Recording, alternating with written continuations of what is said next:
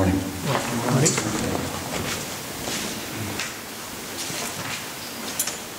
So, by popular demand, I'm going to read a little something from a book I'm working on at present, and then we'll comment on that.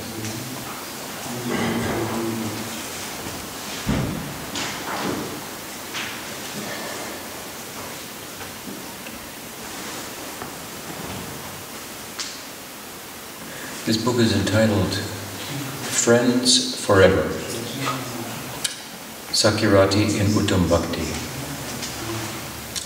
And uh, it consists of two cantos, so this is from the first, uh, actually the second chapter of the second canto, which is a um, Leela narrative based on the Prakat Leela as it is um, described in Srimad Bhagavatam. That means the Prakat described in Srimad Bhagavatam centered on Sakyarati, that section. Um, that begins chapter 12 up to 15, 16, and uh, some parts of 18.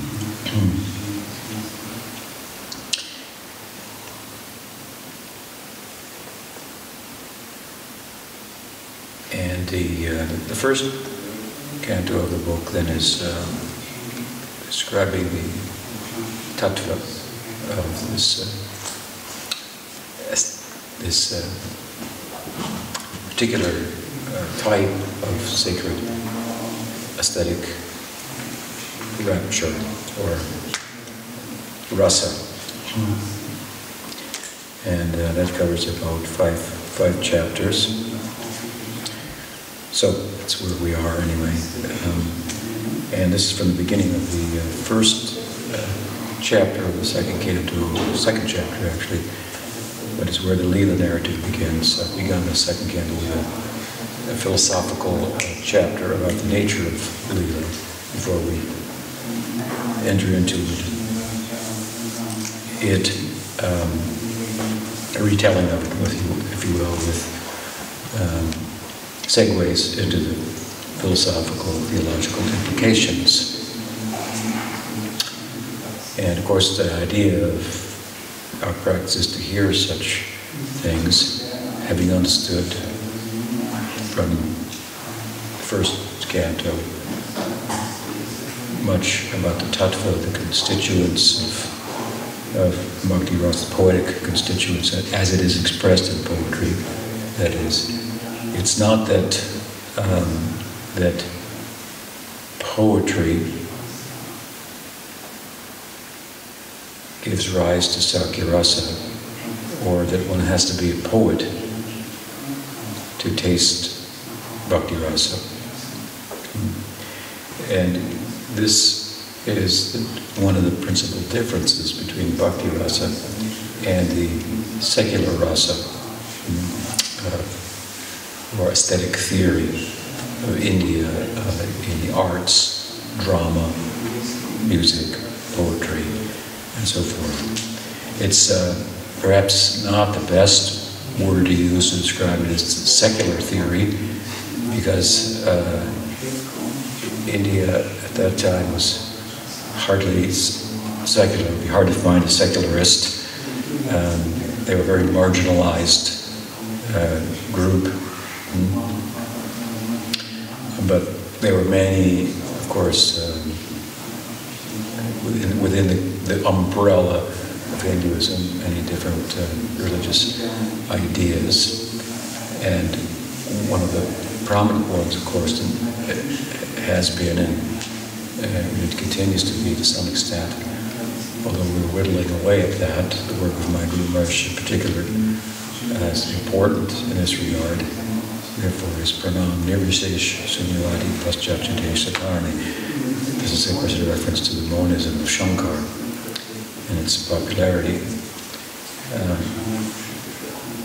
before Prabhupada came to America, Hinduism, Indology I should say, 95% 5% at least of the uh, perspectives on Hinduism was that it culminates in Advaita Vedanta. So he did much to, to, to change that focus. So when you see other articles about Vishishta Dvaita, Dvaita Dvaita, Dvaita, Achintya Bheda, and so forth, um, if you know the history, you're going to appreciate how, how Guru Maharaj's hand in that, um, very much following uh, as he liked to uh, think of himself, it, the mission of Bhakti Vinod.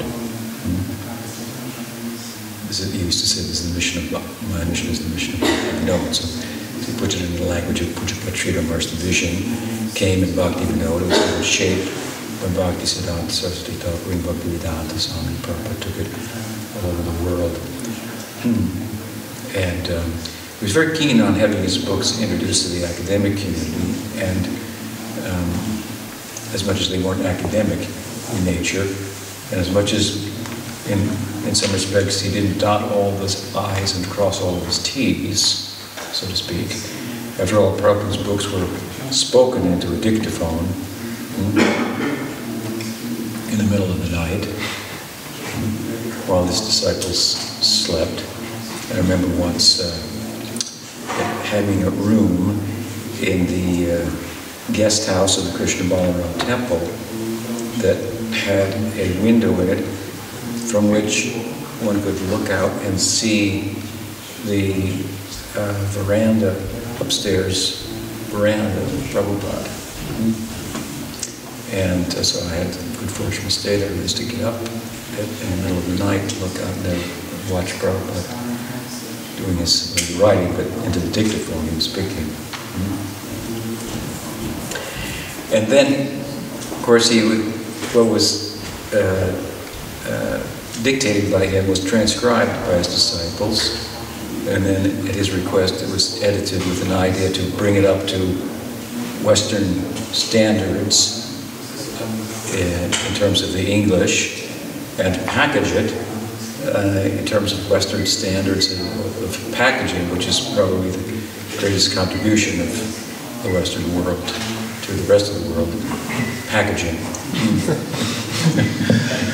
so, uh, and then and then the finished product would be handed to him in a printed volume.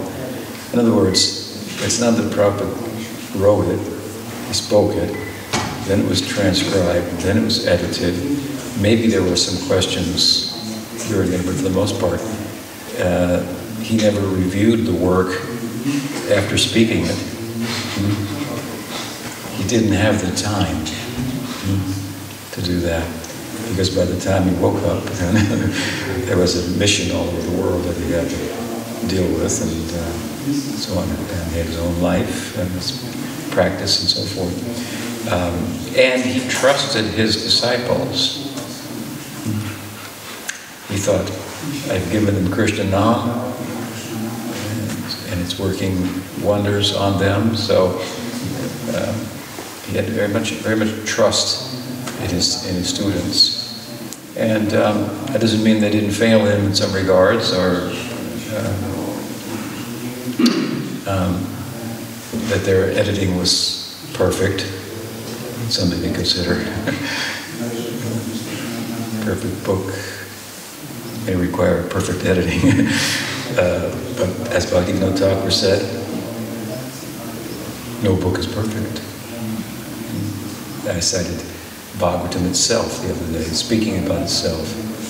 It's the pen of Vyas, but I believe it's the words of Nard. So the Nard Bhagavat is inside of the Sukadev Bhagavat and so forth. So even the speakers and hearers, inquirers, uh, within speakers and inquirers, such as the nature of the, of the text. So at a point, Nard appears to Vyas and tells him to write the Bhagavatam. This is the, the Nard Bhagavatam. He heard the Bhagavatam from Brahma. Brahma heard it from Krishna. Nard gave it to Vyas. Vyas took it and composed it. So he's rewriting, I guess you could say, what he heard from the essence of what he heard from um, Nard. And in the, the, text I said, Yat tad visargo janataga viplavo yasmin pratisloka That there's an urgency, as Prabhupada, books very much, uh, the spirit of the Bible was very much conveyed by a, a sense of urgency now. Hmm? Go back to God now. Hmm? Now is the time. uh, very, very strong sense of immediacy. The issue is at hand. Um, this is how he, you know, led his life. And um, he wanted to compile the whole, do the whole of the Bhagavatam. He had, when he first uh, came to America with the three, three, three volumes, I believe, the first canto, he shortly had a heart attack, and uh, whether he would be able to continue was questionable. And, that loomed over him for the entire balance of his time um, amongst us. And so he was writing with some sense of urgency and, of course, trying to convey to us uh, his own sense of urgency to pursue uh, the, the, ideals of Srimad Bhagavatam. But um, the text then uh, says, Yasmin that there may be some irregularities in the composition, in the grammar, uh, but we are requested to overlook such editorial discrepancies and uh, not let that uh, uh, cause us to find uh, find fault. Um, but to identify with the essential message and, of course, uh, take it up. I mean, it's a beautiful book. It's a, it's a ras, a shastra, it's a poetic text of Bhagavatam that speaks in all of the voices that the sacred text of the Hindus speak in. They speak in the voice of the king, do this, bring that, offer this. They speak in the voice of the friend, who says, let's take a walk. You want an answer? You have a question? Let's take a walk and talk about it. Tell a story. Puranas, Vedas like a king, Puranas like a friend. And the, the Kavya, the poet, these uh, poetic texts like a, like a lover. So all these voices, three, all three of them are found in the Bhagavatam. Another reason for us to agree with Sri Goswami as to its being the, the, well, as the Bhagavad itself says as well, the mature work of Vyas, his most mature work, final contribution. Um, and so, if we let us look at the perspective of Chaitanya Mahaprabhu, when he met Ishwar Puri in Nadia, and Puriji was invited to his house for lunch. Ishwar Puriji he took the opportunity to present his book. Was it Krishna? Krishna Lilamrita? Krishna Lilamrita. Book that he was writing to the young Nimai Pandit. Nimai Pandit was, of course, Vishvambar Mishra, his formal name, from uh, a Brahmin family and a Vaishnava family. But in his youth, of course, he was a, only a nominal Vaishnav. This is something I think that the, that the Guru Kulis can bond with him on. Guru Kulis are, I don't know how many there are in Poland, but of this brand, in America we have a fair amount of them. Students, uh, they're disciples of Prabhupada's disciples who are in the Gurukulas, who are, they're like, a lot of them are like devotees, but they're not devotees. Kind of, they're kind of like, like, they, they like bhakti, but they don't, not all of them, of course, but many of them, they don't know the tattva. The kind of thing that Bhakti Vinod Thakur was addressing in Bengal. So many people born as Vaishnavas, chanting, and smoking and other things. Not, not, not knowing the philosophy so well, or they may know a version of the philosophy that, that they received from their parents who didn't understand it that well, and, uh, and, uh, and maybe that's one of the reasons some of them are not that interested in it, because it's a very, very interesting worldview. It's very rich and deep, and, and you can enter into it and, uh, with good guidance and never come out again. Um, so they're kind of nominal Vaishnavas. But Chaitanya Mahaprabhu was a nominal Vaishnava in the context of the Leela. He was, everybody liked him except the Vaishnavas who liked him but, but, but, but had to show, act as if they didn't and question their own liking of him. I like him so much, but I shouldn't. He's not a Vaishnava.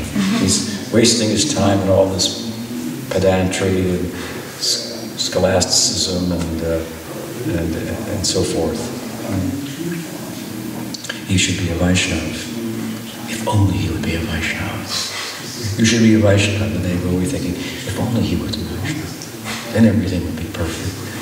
So before he became a Vaishnava, before he could manifest himself as a Vaishnava, of course he had to meet his guru, Ishwar Puri.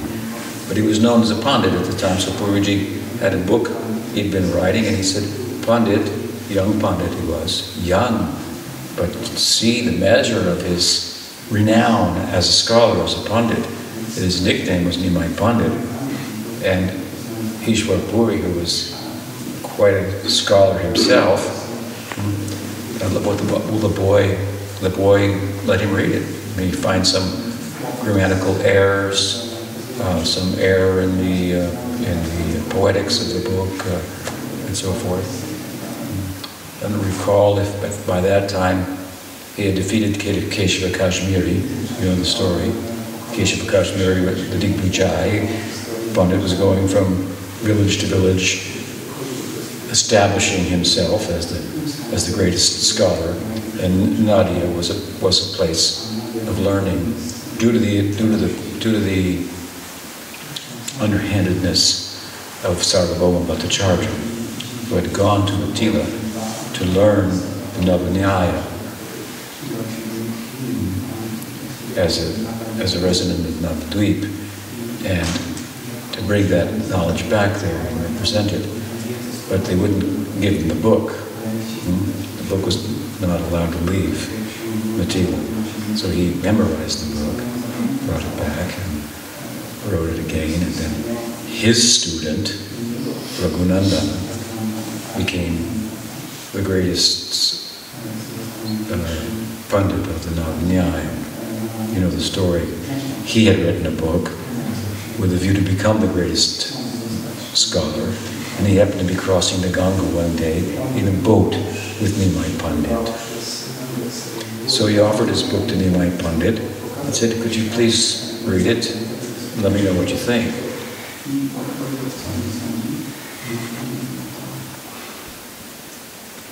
And Mahaprabhu said, yes, I'd be happy to. And in fact, I've written a book also. Could you, could you read it, look it over, and it's a short book, but let me know what you think.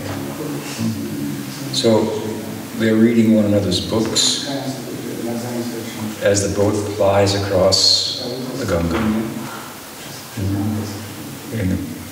Ganga Delta there, where the Ganga meets, meets the ocean.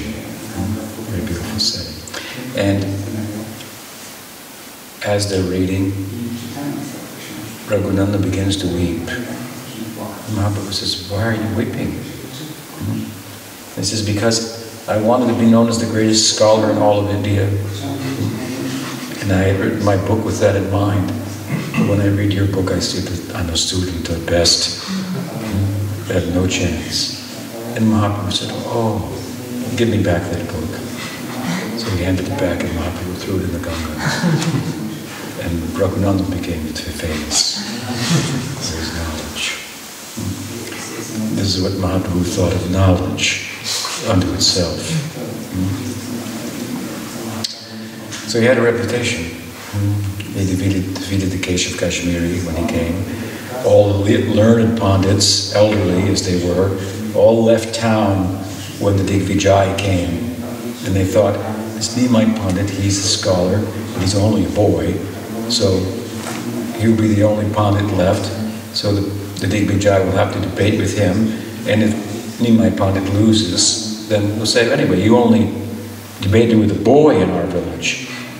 We just happened to be out of town on that day. And of course, if the boy defeats him, what will be the, what will be the fame of Nadia then, as a place of learning?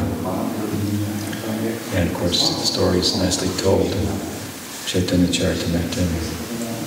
And Keshav Goswami was defeated and astounded at the uh, knowledge of Nimai Pandit. So, Ishwar Puri offered him his book to look over. And Mahaprabhu said, this book, different than Raghunandan's book, or different than the poetry of the Digvijay Pandit, which, were, was a hundred spontaneous verses in glorification of the Ganges that just came out like that in Sanskrit poetry. I learned the Digvijay Pandit Keshav Kashmiri was. So that's incredible. Say something about the Ganges. There was Nimai Pandit, along with his friends on the bank of the Ganga, having their their their class. Nimai Pandit as, as the teacher. It's a very beautiful setting, Vrindavan Das, reflecting upon pines for the opportunity to take birth again at that time that he came in this life just afterwards. He said to you, how can we how can I describe the setting with Nimai Pandit sitting with the students of bank can't be compared, he can't be compared to Brigu, who's the guru of the gods, because the Brigu is is, is biased towards the gods, and Nimai Pandit is un, unbiased. Chaitanya Mahaprabhu is an unbiased person entirely. What else did he say? Um, he cannot be compared to couple other things he came up with, I forget at the moment. But if there's anything, something I can, one thing I can think of to compare him to that may be apt inappropriate.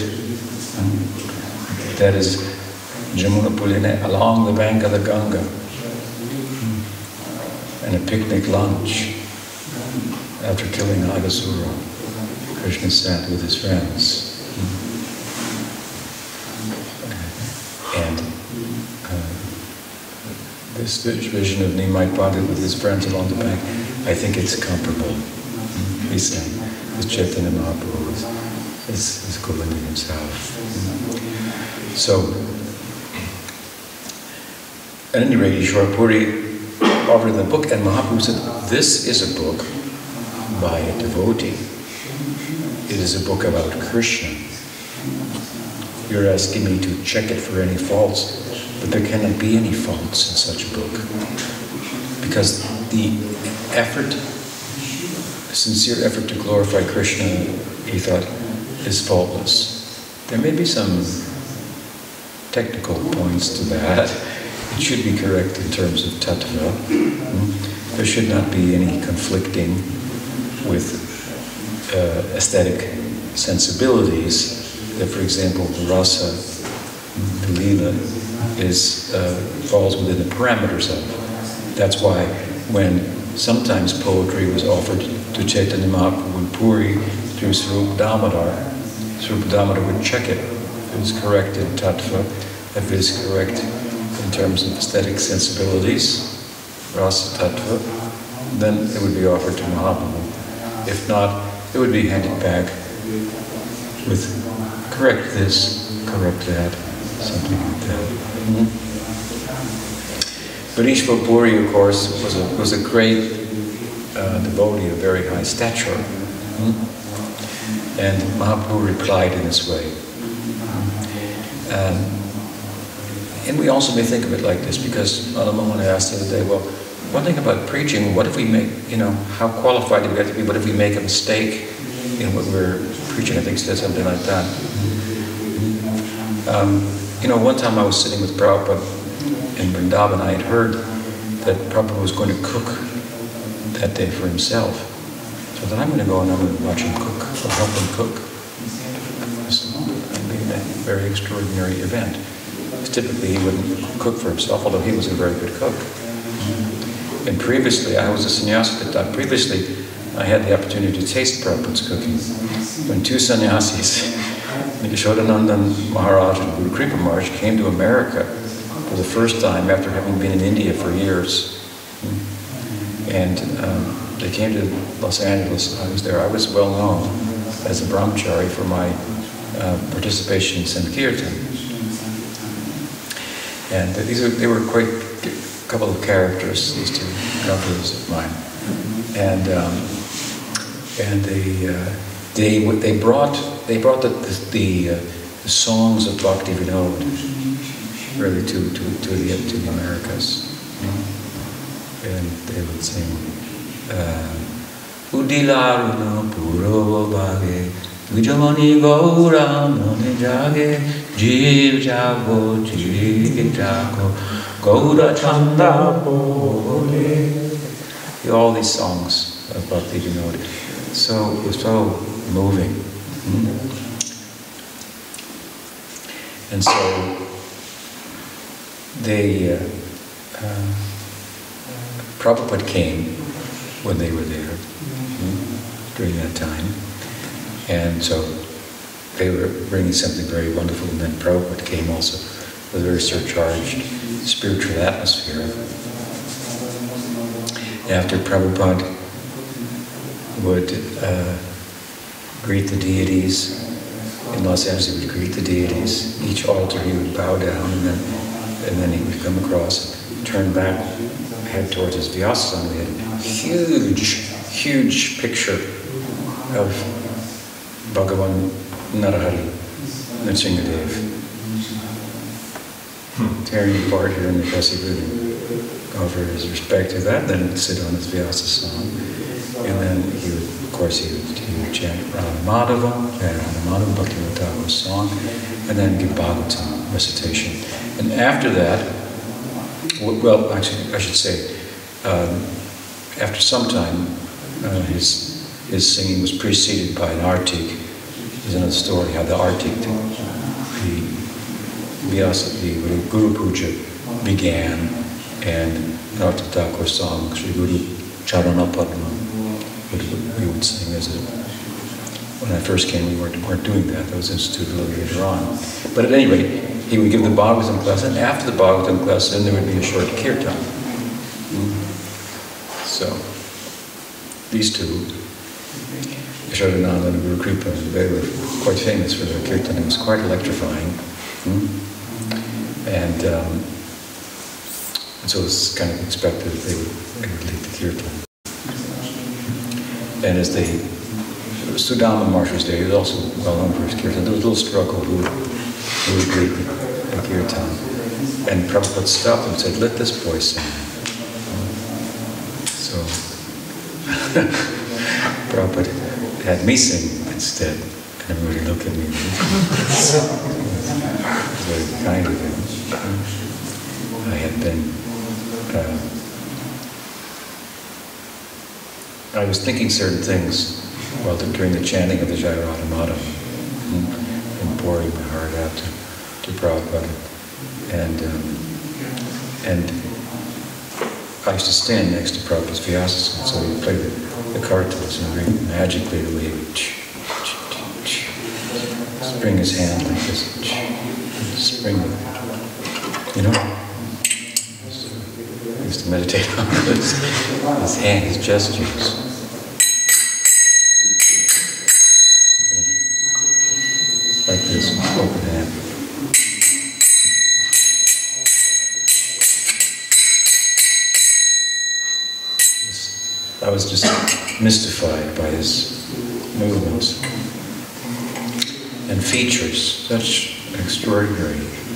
Bodily features. I mean, it just, just not of this world. He, he is. he's so short and so tall. He's shorter than me. he's five four or something like that, maybe five six. And but he had such a he felt like he felt like he was such a tall person. His eyes just looking out into such a vision. Hmm? And his ears and everything. it's very, very beautiful. Sudurlabha Bhagavata, look, such a person, very difficult. And so, uh, and I was thinking, I, he loves this. He has such feeling for these words. Hmm? Jai Radha Madhava and so forth. So I want to respond when the time comes in the kirtan, just in a way as if to say, I don't understand the implication of these words. I don't, but he loves them and knows them, and so let me chant them for just for his pleasure, just to please him, because they're so pleasing to him. Hmm? They're not that pleasing to me, but he's pleasing to me. Hmm? I find my Krishna in him. So let me chant in such a way, just just to please him. And while he was doing, he looked over at me like this, felt and then afterwards he said, "Let this boy sing." and he did that for like two, three mornings in a row. Let this boy sing. So I was already a little well known for my Sankirtan, but this Guru Kripa and and Yashodananda, they were like checking me out. so you have to know them what, what they were like. And so anyway, um, Prabhupada had cooked there in Los Angeles, apparently. I wasn't aware of it. And they had samosas that he cooked. So they called me in one day. We're going to give you something. we like you. and so they opened their package and then they gave me a piece of samosa. Prabhupada cooked this with his own hands. We're keeping it with us. We're going to give you some. the taste Prabhupada's uh, cooking. So then they said, you probably don't get any samosas around here. And I said, well, actually I do, because I was the, I, they had a competition in New York at that time. It was orchestrated by my godbrother Rameswar. When I came to New Dwarka, uh, I had been a, uh, involved for three months. I had joined a traveling Sankirtan party in the Santa Cruz Mountains. And um, when Prabhupada came to Los Angeles, and they brought me down there to meet Prabhupada. And um, he gave initiation. Um, and so uh, I had no education, or I had no resume of work. I was had no work, and I dropped out of school and whatnot for several years and so forth. So I didn't really have any um, skills, so to speak. And I looked at all the doors. I thought they're so talented. They, all of them. What do I do? What can, what can I do?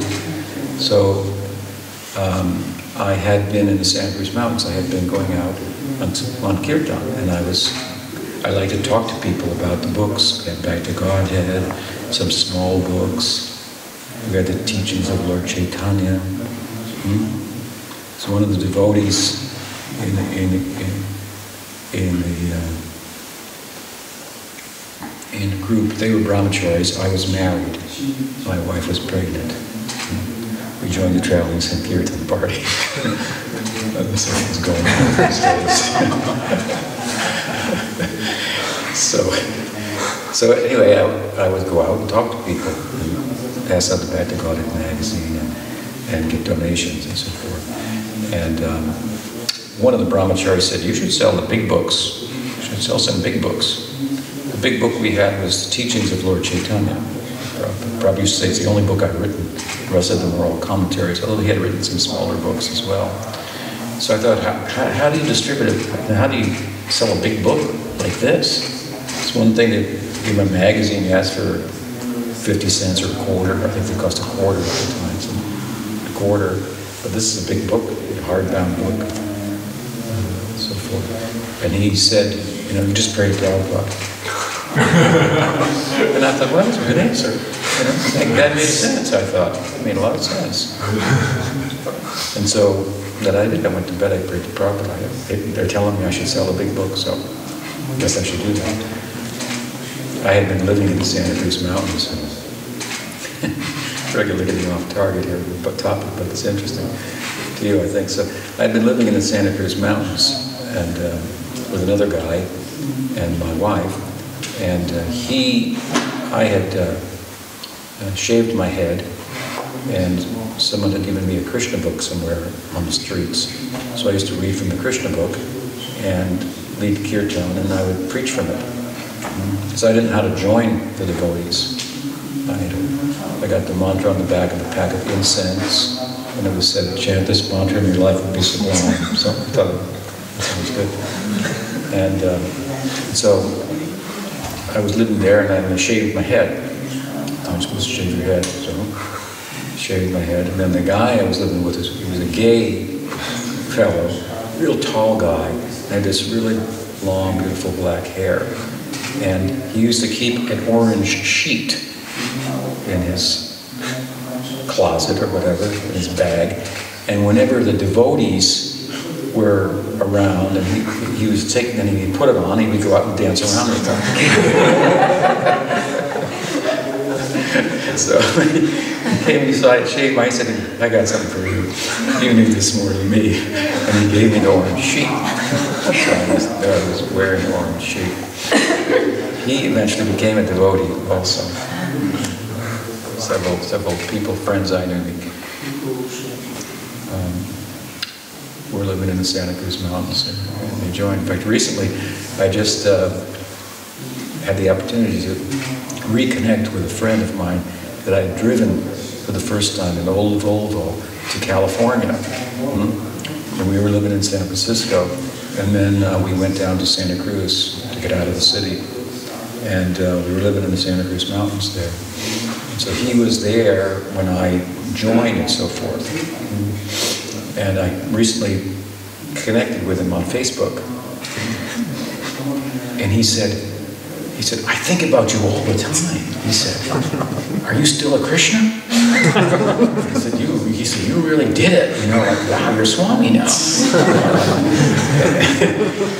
and it was an example of how, as I was saying the other day, if you were in the alternative culture, and in the context of that, you joined like a guru in a mission, you like really went out there. You really dropped out you really went the full, you know, distance, so to speak.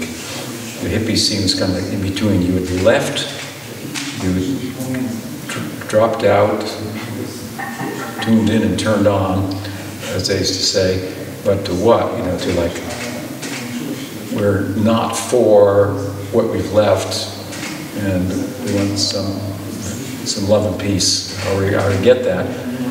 You know, I'm not sure. It was kind of like nebulous. So anyway, to have joined an ashram, that was like, wow. So he confirmed that to me. They said, wow, you, had, you, were, you were really the one. Who, who would have known? He, he didn't become a devotee apparently, but some of the others I, I knew um, also did. So, at any rate, um, when they came, when the devotees came to Santa Cruz, they, they were told when they were doing Sankirtan, there's a Kirtan in the street, there's a guy up in the mountains there. He dresses like you and he chants like that. And he, he teaches from those books. Can't imagine what my classes were like. so they immediately came up there and, and, and, told me I was doing it all wrong. I couldn't wear that color because I was married. So I moved down to Santa Cruz, to the city, out of the mountains with them, and there we were. So I would go out every day and, and uh, share the books and talk about them. So when I came, they brought me to Los Angeles. I thought, I thought I can't do anything else really. I have no education or background or skills. So I know how to do this. It may not be important, but I'll do it. So I used to go out and books, and then I then I saw one day on the on the bulletin board that they had put up a competition for selling the books. And I thought, well, maybe that's cool. Maybe I entered that. So it's, it's, so then I, anyway, I won. There's only a, a couple of people who went out full time. Most of the devotees or households worked in the incense business there, the spiritual sky, and, and there were the temple devotees, and nobody knew how to sell the books. Not, not very much. You know, it was like we had a warehouse full of books. And so I just had a penchant for talking to people about Krishna, whatever I knew. So um, I, anyway, I, I won the competition.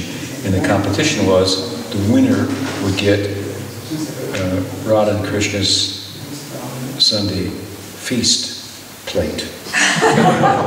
the entire Maha plate. so I won that plate and I would eat every morsel of it, every morsel. Actually, then they, then they changed the competition that you could you could win.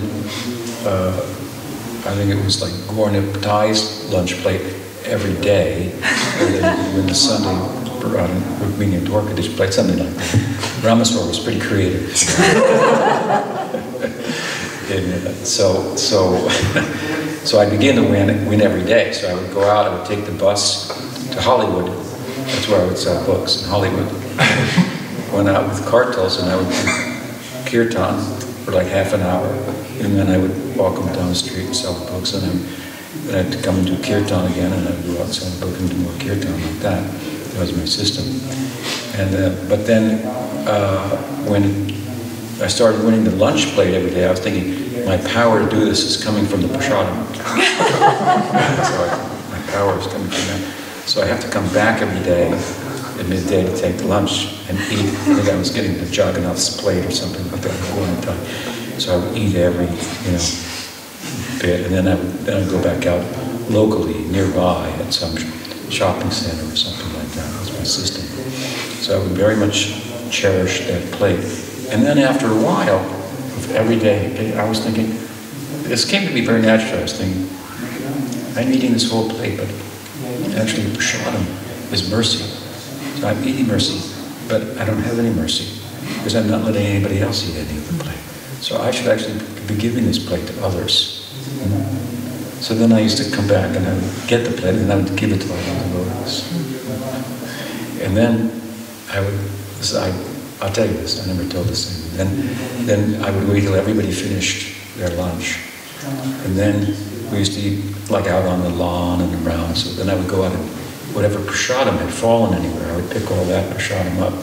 And then the Chaitanya Charitamrita wasn't published or anything like that. It wasn't like I was imitating Raghunath Das. but I just, I thought prasadam, I thought this, I had great faith in Mahaprasadam. And I was thinking it was actually inoculating me from the world to be able to go out there and deal with it and not be distracted.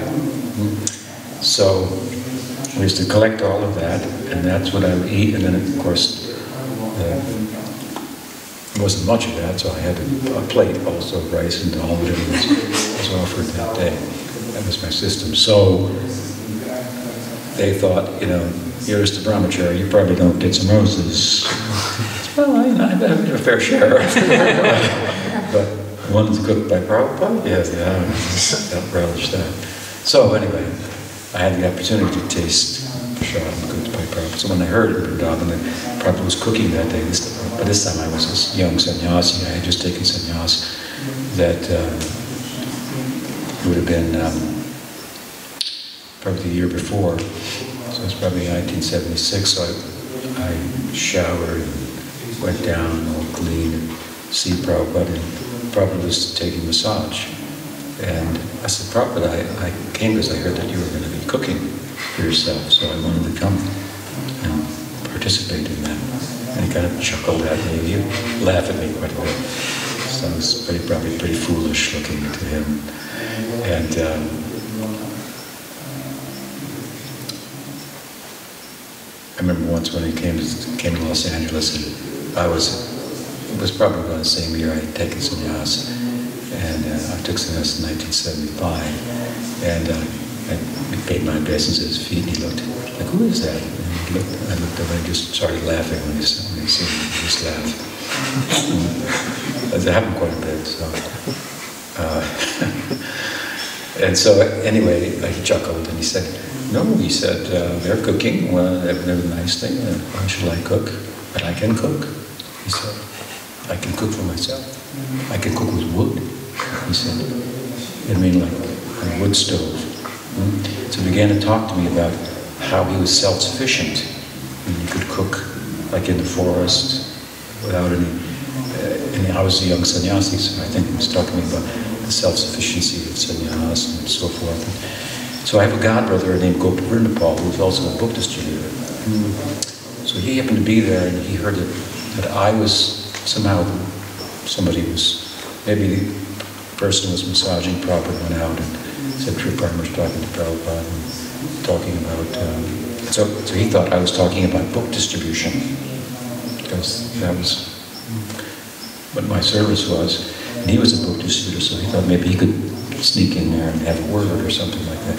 And he had this idea that it's a problem that devotees are going out and they're speaking, but they don't know philosophy that well, so they may say something wrong. Therefore, we should train them exactly what to say, hmm? so that they won't make any mistakes. So he came and Prabhupada acknowledged him, and then he said, Prabhupada, I had this thought and this situation and so forth. So the conversation turned to his idea that the devotees should, before going out, they should be trained exactly what to say and what not to say. Prabhupada didn't like the idea. He said, he said, no. He said, preaching is spontaneous. He said, just like Tripurari Maharaj. Krishna is speaking to him in his heart, and then he repeats that to the people, and he's selling the books. Sometimes Prabhupada would hear some of the things I would say. Like there when the first newspaper articles started coming out about energy crisis, which is you know the kind of the early beginnings of the environmental movement, energy crisis. Then that was in the paper. Probably would be up on the news, and then he would take something from the news and talk about it and explain the philosophy relative to the point, trying to be contemporary in his presentation, like you can see in his early Back to Godhead, when he was publishing Back to Godhead by himself, writing it, editing it, proofreading it, publishing it, designing it, and so forth. So um, he uh, um, um, he didn't, anyway, he didn't, he didn't like that idea. He said, Tesham satatayuttanam bhajatam pratipurvakam tadami buddhi yogam zamenam mamapayanti. This is the first Bhagavad Gita verse I ever learned, by the way. So, very nice to hear Prabhupada uh, chanted. And he said, he quoted this verse to say, Krishna's tadami buddhi, he gives him knowledge in the heart. And then he speaks that. And Prabhupada would hear, uh, I was saying Prabhupada would hear some of the things I would say, like during the energy crisis, we had a book that was recently published at that time called Krishna, Reservoir of Pleasure. So I used to hand it out and say, have you heard about the energy crisis? He said, yes. I said, take this. This is the reservoir, you know, of, you know, pleasure and whatever. And I had you know, something about it. And so energy crisis can be solved here. You know? that was my line. So Prabhupada heard it. Somehow he would hear it through the chain of whatever. And then sometimes he would repeat that. And what is he saying, that, that boy? And chuckle. They Tripurari. Yes. And he's saying, there is no energy crisis. You like those kind of things. Once, once in, uh, in, in, uh, in, uh, Berkeley, in the morning walk, I wasn't there, but I heard the tape. One devotee asked, but Prabhupada had an idea that if we make Bengali sweets and sell them, they will be very popular. And then we can make money to sustain ourselves for the mission. And Prabhupada said, what is that boy's name? Hmm? Somebody knew enough to say, Tripurari. He said, yes, he is selling the Bengali sweets. Chaitanya Charitamrita. we will maintain ourselves in this way. Prabhupada said when he, when he crossed the ocean that his, his, he, was, he was living on Chaitanya Charitamrita. This book was nourishing him, keeping him alive, keeping his heart beating as he traveled into the unknown. You have to understand what that, getting on that boat was like do you want to try out, what is his name, Musk? The guy with the Tesla cars, Tesla? Hmm? Alan? Elon Musk. He wants to take, you know, sell tickets to outer space. That would look like if you would get on one of those, here we go. Properties like on the ocean, it's like, where am I going? It's like going to outer space. When he got to New York, he wrote back about it. He said, it's different here. There's so many lights on at night that it's like daytime. and everybody has a car, and everybody drives it. because in India, only the rich people had cars, and they had drivers. it was like another planet for him. They all cars. They all drive them. Lights on at night, like make it like day. It's how he was like, they'd gone to another planet with a, with a, with a, with a trunk of books to tell about Goloka, hmm? from Bharat, hmm? from Braj within Bharat. It's another dimension, right? Another dimension came. So, anyway, he told that devotee, Gopa Vrindapal, nice name, Gopa Vrindapal, the Pal of the Gopa Vrinda, the protector of the, of the group of of uh, Govinda's Gopas. Mm-hmm. Govinda, Govinda, the protector, of his group friends. Rakshikshatri Vishvashpo, as we say. Protected them as they marched in the mouth of Aghasura. So, anyway, um, Prabhupada said, no, the devotees, you have to let them be individual and have, follow their individual inspiration. He wanted to encourage that. And then Gopa said, but Prabhupada, Tamal Krishnamurti said that you gave all the devotees that they had to, you know, when they went out, they had to collect a certain amount of money, so you regulated it in that way. And Prabhupada, I have never said that. That is Tamal Krishna's concoction. Just as an aside there. So his idea was that they would go out and they would have it chanted all morning. They would be inspired. That's what I used to do in Los Angeles. After the morning program, then I would go before the deities and I would chant until I got inspired. Hmm? Until I got so absorbed that I began to move in bliss rather than by any other motive. That's then I would go out. That was my system. Hmm? And so Prabhupada kind of looked at us like that. They're going out in bliss, and they're saying something. It may not be perfect, but heart it's coming from, the intention is perfect, and they might say it a little wrong, but they're giving the perfect book. So, no harm. It's made up for. So this was his uh, spirit.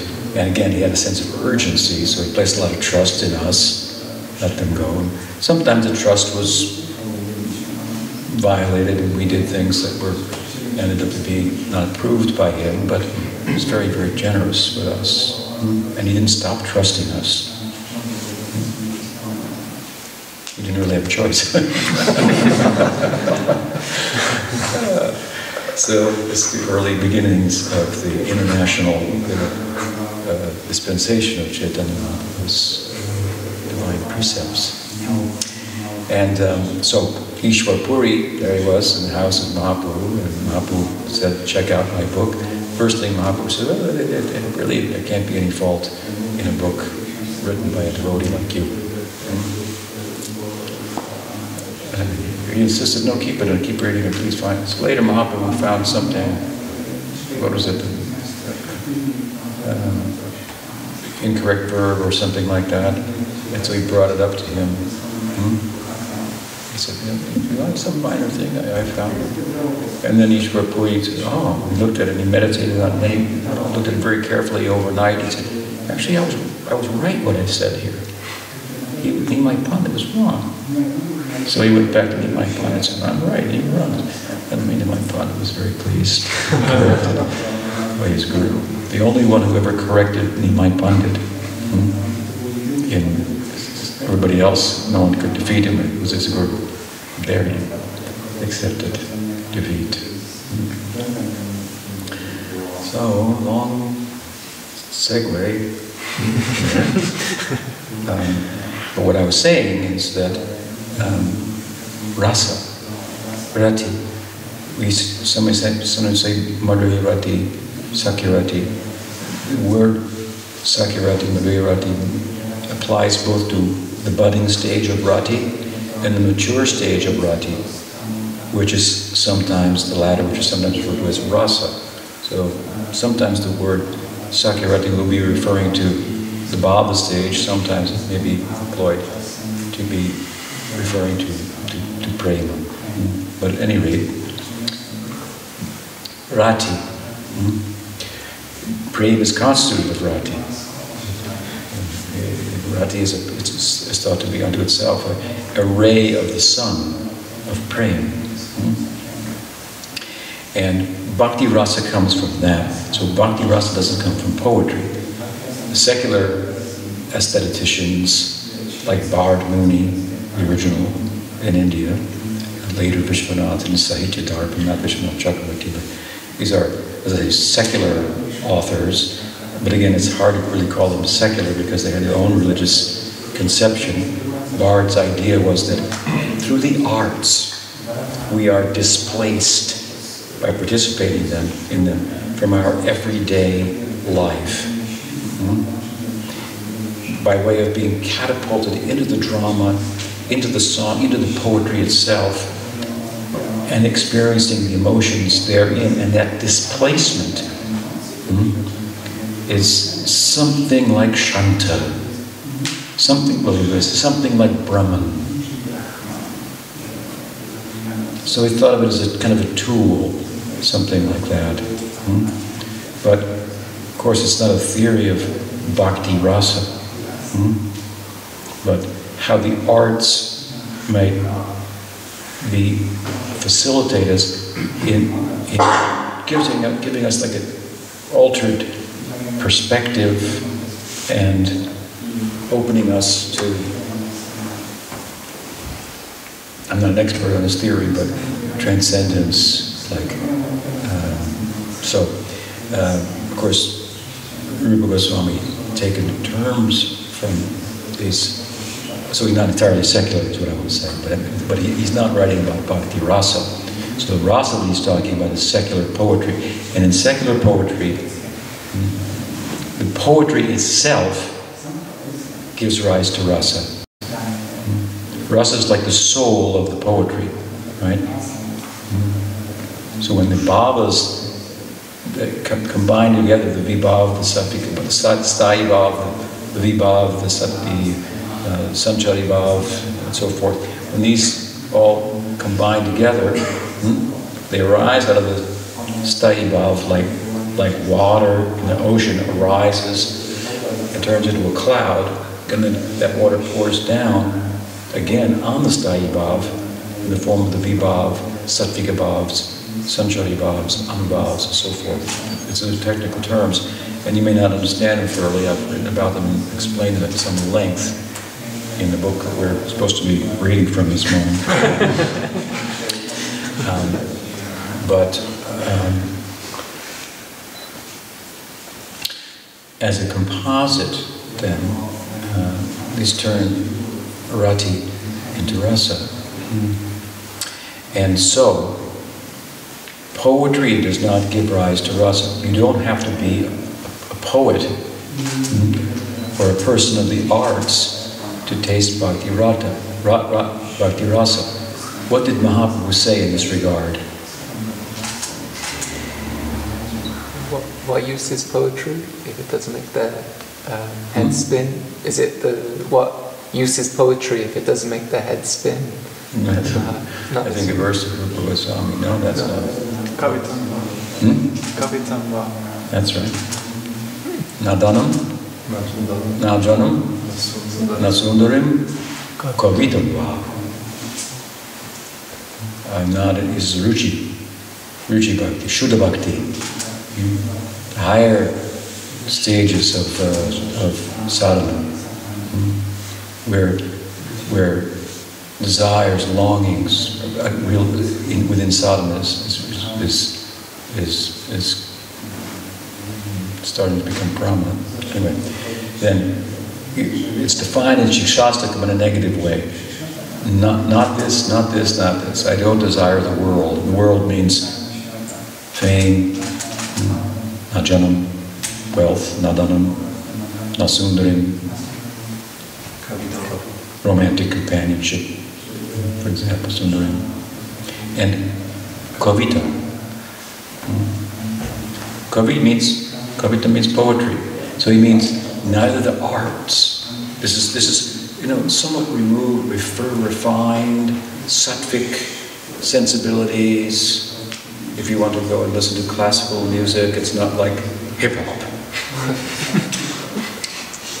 what kind of adhikar do you need to like hip hop? You need a good dose of tamaguna, probably.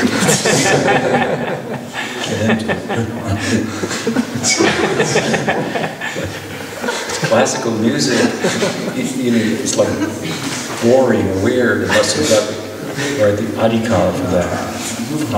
Refined, sattvic personality, somewhat removed from the, from the, from the herd, right? If, we, if humanity is moving away from animality, hmm, and this is far, far removed, sophisticated, cultured, educated, refined, sattvic sensibilities. Mm. And that won't get you bhakti rasa. You can't just be, by becoming a poet, can't get my rasa.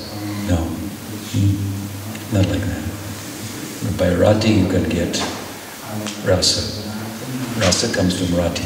But the nature of this rasa is such that it can take poetry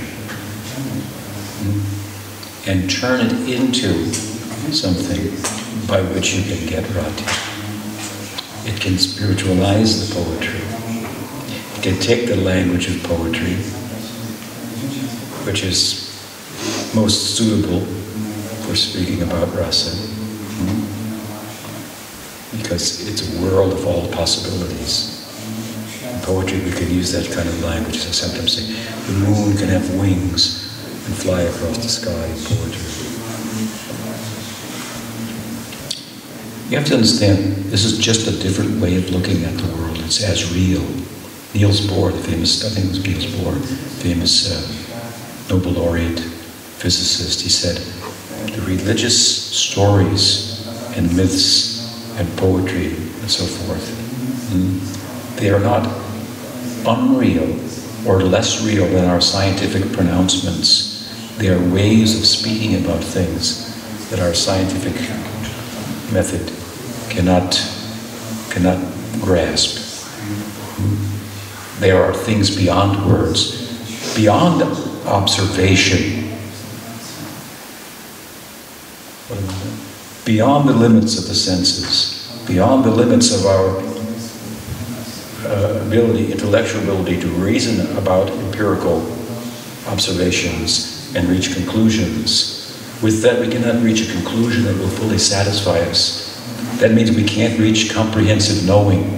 Comprehensive knowing is that knowing by which I know I don't need to know anything else. Hmm? A noetic bliss. Hmm? A, a, a, knowing, a, a bliss that is wise it's, it's Hladini and Samvit, a wise kind of knowing. A, a, wise kind of loving, I should say. Wise love. And, and so, who has rati, where you get rati from? Someone who has rati. That means from Guru Parampara. So then, then that, if we want to speak about that, our Goswamis have spoken about that. They've written about that in they've, when writing directly about it, when writing philosophically about it, and then when write in prose and philosophically, Rupa Goswami's done that in Bhakti Rasamrita. And of course, it's peppered with poetry, pramanas, and so forth. And, and then Lila Granta books, which is like the second canto of this book, is like a narrative, retelling the narrative of the the, the Prakat Lila of the, of the Sakirasa center of the Bhagavatam. Hmm? So it, when they wrote books like this, then they, then they were all uh, in poetry. Hmm? So they employed this language, and that language then becomes empowered hmm? with Rati.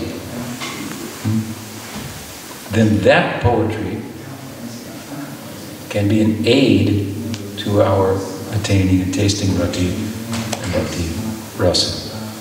Therefore, we should not. Therefore, if we, therefore, if we do want to write poetry about Krishna, it should have some tattva and proper understanding, and so that it will become such that it will have power. Hmm? Power. It's not just sit down and with your material emotions and sensibilities write a poem. Hmm? Um, you can start somewhere, but the poetry of the Goswamis, this is rich, empowered poetry. Hmm? It doesn't say everything about, you can't say everything about what is, what is Vatsalya rasa, what is Madhurya rasa, what is Sakya rasa. It defies words. You cannot put it in words, but whatever words it is put in, by someone some experience of that, that poetry will be empowered. So we should understand, of course, by extension, what to speak of having the ability, rati, to transform poetry into a vehicle for its dissemination and its nourishment, to nourish one's own rati, hmm, to express it in poetry. Hmm. That poetry will nourish the rati. What to speak of being able to do that with poetry? Rati can do that with the whole world. The rasa can do it with the whole world. The, we can say, these are the udipana vibhavs of Madhurya rasa. These are the udipana vibhavs of Sakya rasa. Hmm? So, so, as listed by Rupa Goswami, for example. And then we can explain about that, we can explore them, hmm? and so on. Krishna's flute, his ages? His age, for example, of Poganda, boyhood, is an udipana for Sakyarasa. Actually, all the ages are, because the Sakyarasa centers begins with the end of the Sesh Kumar and extends into the beginning of Madhurya, which starts to begin at the end of Poganda. But anyway, the age is an udipana. Uh,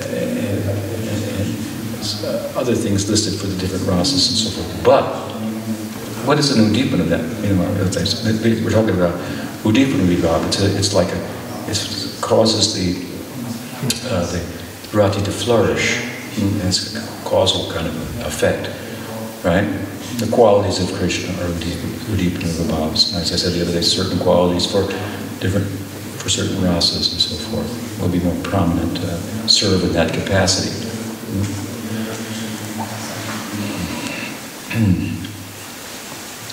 But what does it mean? It means there'll be a tipping point. Hmm? So a tipping point in hearing can take a, take a devotee to tip to the other side. And from external consciousness and orientation, go to the other side. Come back. But Mahaprabhu was so absorbed in Krishna Rati hmm, that the whole natural world became Udipana for him. The cloud became Udipana for him. Hmm. The sand dune, Jagannath Puri, became Govardhan Hill. Any body of water became the Jamuna. And he would jump in. Hmm. They converted the whole world into uh, that which would give rise to rasa. And this is the super extraordinary power of bhakti rasa. It's inconceivable. Hmm? How to do away with the problem of the world. Convert it. Vishvam Purnam Sukhayate. You can't do that with jnana or with yoga. that's, just, that's like, forget it. You're hiding from the world there. Look only at the tip of your nose, nowhere else. Hmm? once I was sitting with Prabhupada, if you don't mind, in the 11th floor of the building in Manhattan. This was a big victory for Prabhupada, right? Because he came and he was, first in New York, he was living on the street as a homeless person. And in the end, he had a, he had a small, but nonetheless, something was scraping the sky. A skyscraper. Hmm?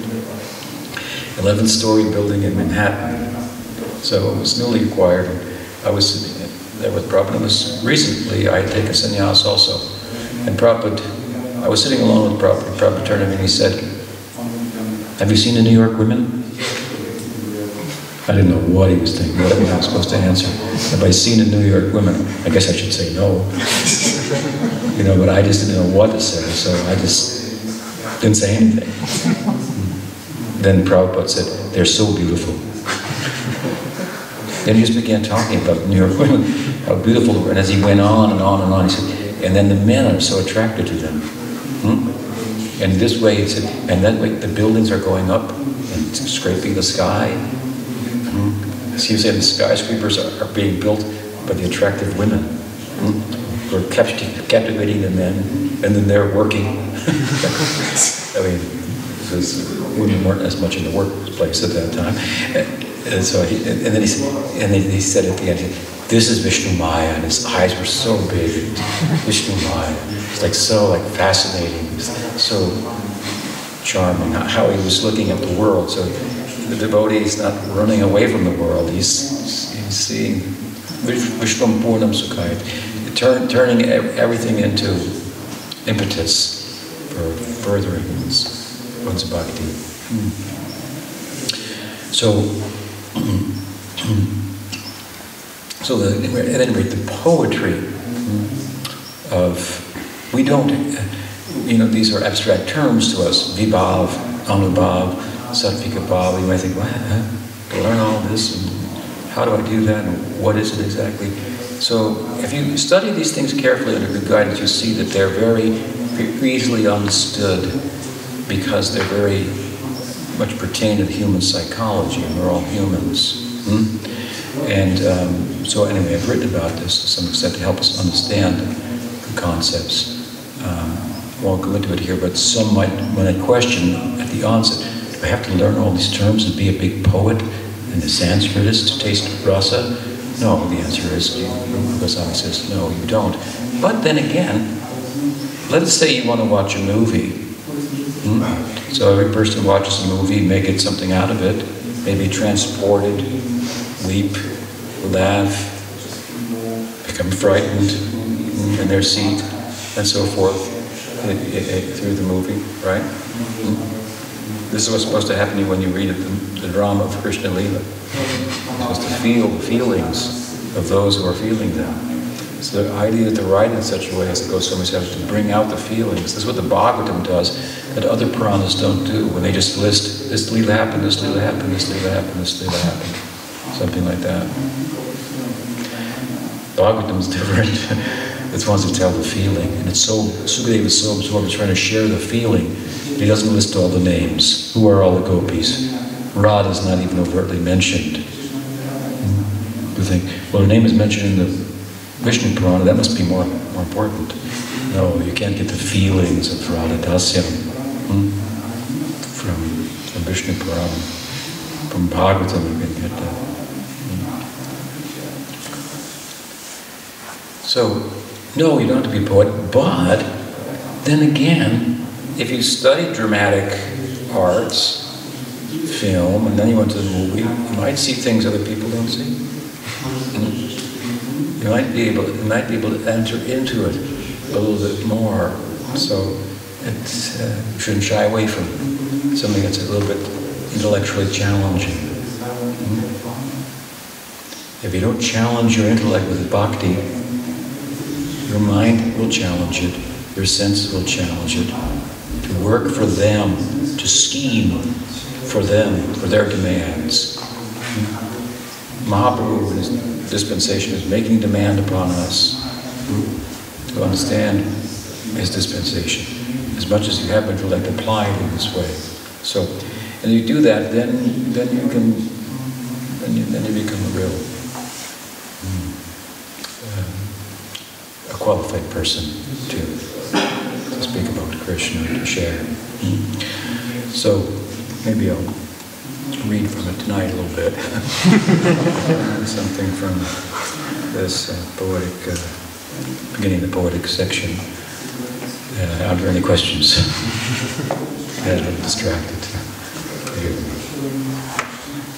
I have two questions from um, Padmanabha Maharaj. If you want to. I don't think I want to entertain separate Okay. questions from the, the kind of what we've been talking about at this moment. Yes. Uh, I have a question regarding uh, Nimai as a pandit. Uh, if he was so great pandit, why his guru said to him that he should that he is fool and he, sh- he should not uh, study the Vedanta, or it was just Lord Chaitanya saying this to show that in Kali Yuga there is no need for studying Vedanta and only chanting. It was really happened that his guru told him that he's fool and Yes. Told him he was a fool. That's what he says. Aha, po polsku. E, Ja mam pytanie odnośnie kwestii e, Nimaja jako pandita. E, Skoro był tak wielkim panditą, dlaczego e, jego guru Ishwarapuri powiedział mu, że jest głupcem i że nie powinien studiować Vedanty? Czy, tak, czy to naprawdę się wydarzyło, czy po prostu Pan Chaitanya tylko tak mówił, żeby wskazać na to, że w Kaliudze nie ma potrzeby studiowania Vedanty, a jedynie intonować? Yes, Nimai Pandit was very learned. He says through the pen of Krishnadas Kaviraj Goswami that my guru considered me a fool. And I think uh, he's speaking to Prakasananda Saraswati in this section. Prakasananda Saraswati, Saraswati was a Vedantin of great measure, and Mahaprabhu was in the, in the process of converting him from a dry Vedantist to a Rasic uh, Bhakta, Rasika. Indeed, Prakasananda Saraswati misunderstood Mahaprabhu and said, he is a Bhavuka, a sentimentalist, a Bhavuka. Although he's a Bharati, he's from the Bharati community, one of our communities, sannyas communities, the Bharat lineage, because he was initiated by Keshava Bharati in the Bharati lineage. But he's, he's actually conducting himself like a bhavuka, uh, bhavuka, a, a sentimentalist. Not appropriate. Mhm. But you can tell he's still attracted to her. Of course, the Bhagavatam says, Nigama kalpataro galitam phalam sukumukadamrita drava samvitam pibata bhagavatam rasamalayam muhuraho rasika bhuvi bhavuka. Says you have to be a bhavuka. you understand the rasa of, Sri, of, of Srimad Bhagavatam. You have to be a sentimentalist. Hmm? Bengalis are well suited for that. and then Mahaprabhu appeared amongst them. They're like the Latins of the Hindu uh, sector. So, um, so Mahaprabhu told in, in humility, which very much contrasts the pride that he saw in the Advaitins. And he said, my guru told me I'm a fool, hmm, and I shouldn't study Vedanta. Instead, he just gave me this mantra, Krishna Nam, and I'm chanting that, and this is what happens to me. I roll on the ground, I weep, I, I do all these bhavuka type things. Like I said, if you're if you're in Baba, then you can act in any way. So he, cited a verse from Bhagavatam. This mantra made him roll on the ground and not care for others, what they think, and weep and call out and so forth. Its magical powers on him. So Mahaprabhu is contrasting the gyan with bhakti and employing the term Vedanta to the Vedantists and saying, this is not the way. who just study Vedanta, which is their way. Study the Vedanta, and penetrate on the significance, the koans, koans, tattvamasi, aham neti neti, until you get an epiphany and, and then so forth, and melt the constructs of the mind and so forth. Mhm. This way you, you eradicate karma through, through sadhana, through gyan. Um, so, this is not the way of Mahaprabhu. So in one sense he's referring to them. Mhm. My guru said, don't be a Vedantist. Mhm. Um, Mahaprabhu's punditry was before he was a Vaishnava or a Vedantist or anything. Hmm? He was a learned person. With regard to the actual spiritual path, he's saying that, that we should be a devotee, hmm? not a jnani, hmm? uh, something like that. Uh, once, but that doesn't mean we shouldn't become learned in sambandha jnana, the knowledge of bhakti. So there's knowledge, for example, of the difference between Atma and Brahman, or the likeness, the sameness between Atma and Brahman. This is the knowledge that the, the Jnani Vedantins are preoccupied with. The oneness, the likeness between Brahman and Atma. There's so much concern with the likeness that they think there's no difference hmm, at all. Anyway, that's another point, but um, that's not the only kind of knowledge. That's real knowledge compared to just knowing things about the material world. If you don't know yourself, what do you know? You're a fool. But uh, with regard to spiritual knowledge, the knowledge, the Sambandha Gyan, the knowledge of Bhagwan and his Shaktis, hmm, that is superior to simply the knowledge that constitutes the likeness between Brahman and, uh, and, and Atman. Right?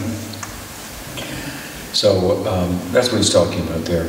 But I, I, tell you an anecdote that uh, appreciate the point. I was once listening to uh, Bhakti uh, Sundar Govinda Maharaj give a lecture, and uh, he was lecturing uh, on this section of Chaitanya Charitamrita We referred to it, and he said, Mahaprabhu said that, he, that uh, my guru told me not to study Vedanta, hmm, that I'm a fool, I should just chant, just chant Hare Krishna. So he was going on and on about this. You want to study Vedanta, not about that, just chant the holy name, this is the thing. So he's going on and on and speaking about this at some length, and I'm listening to him.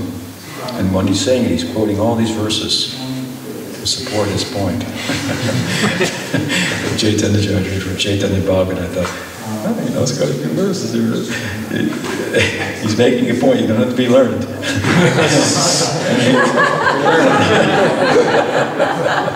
so I had to chuckle. So, so, well, yes.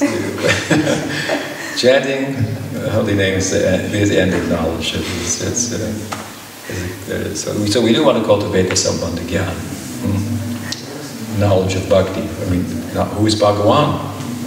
What are his different forms? So this is, you know, part of the, the knowledge that um, begets the bhakti is, arises in the context of.